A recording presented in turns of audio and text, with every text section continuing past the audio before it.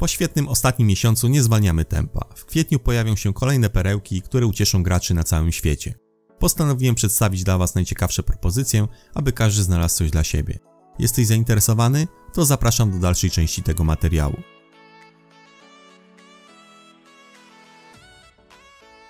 Skyrim nie dał sobie zapomnieć. Ta piąta część serii nadal cieszy się ogromną popularnością.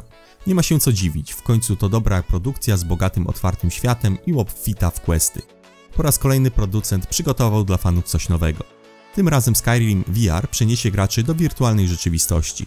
Kontakt będzie jeszcze bliższy niż kiedykolwiek, za sprawą gogli VR. Teraz będziemy mogli poczuć się jak prawdziwy poszukiwać przygód. Ograniczenie będzie jedynie posiadanie odpowiedniego sprzętu. Jeżeli jednak nie obawiamy się wydatków, zdecydowanie warto przeżyć ponownie przygodę z nieco innej perspektywy.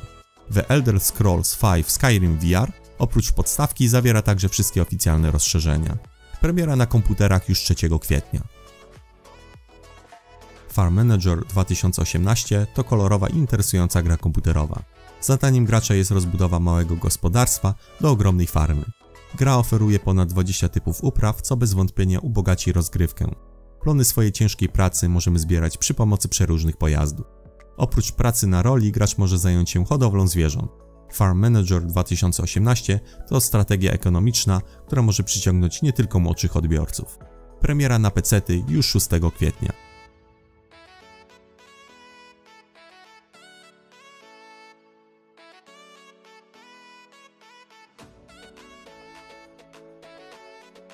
Kolejny symulator, którym mogą zainteresować się przedsiębiorczy gracze.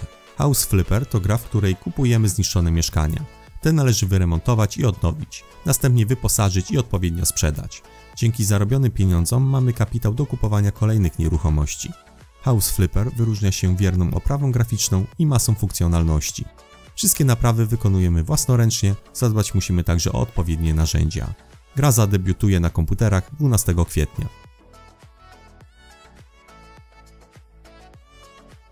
Fani God of War musieli długo czekać na kolejną grę. Seria korzeniami sięga do czasów PlayStation 2. Posiadacze PS trójek mogli zagrać w nowe przygody Kratosa oraz te w odświeżone z wcześniejszej konsoli.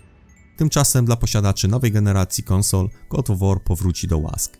Ponownie wcielimy się w postać Kratosa, jednak ta część będzie inna od pozostałych. Mitologia grecka zostanie zastąpiona mitologią nordycką. Bohater szuka spokoju na północy, gdzie znajduje miłość i zakłada rodzinę.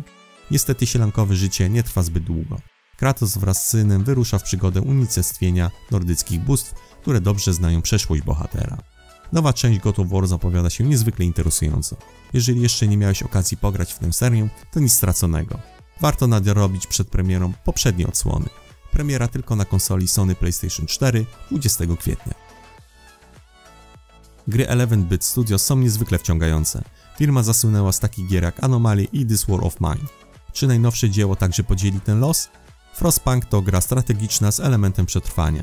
Akcja rozgrywa się w alternatywnej wersji XIX wieku, gdzie na Ziemi zapanowała epoka lodowcowa. Zadaniem gracza będzie zarządzanie grupką ocalałych oraz podejmowanie trudnych decyzji. Po raz kolejny twórcy wprowadzają nową mechanikę, która może przypaść do gustu graczom z całego świata. Premiera na blaszaki pod koniec kwietnia. W tym miesiącu wyjdą także Flight Unlimited 2018, symulator lotów, w którym gracz zasiądzie za sterami samolotów pasażerskich, myśliwców czy awionetek. Niezwykle cieszę się z tego faktu, że symulatory lotów powracają na komputery. Przez ostatni czas gry z tego gatunku były lekko mówiąc pomijane. Dla posiadaczy konsoli Nintendo Switch trafi interesująca gra The Bunker.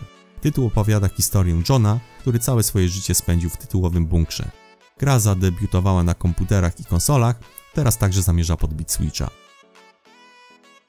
Solo to platformowy tytuł z elementami logicznymi.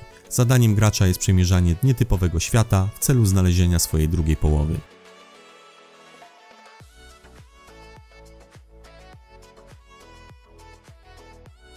Tym sposobem dobrnęliśmy do końca zestawienia. Koniecznie daj znać, na którą grę najbardziej czekasz i dlaczego. Sekcja komentarzy należy do Was, tymczasem zapraszam do wchodzenia na naszą stronę internetową wideotesty.pl oraz sprawdzenia naszych kont społecznościowych. Tymczasem trzymajcie się i do zobaczenia w kolejnym materiale. Cześć!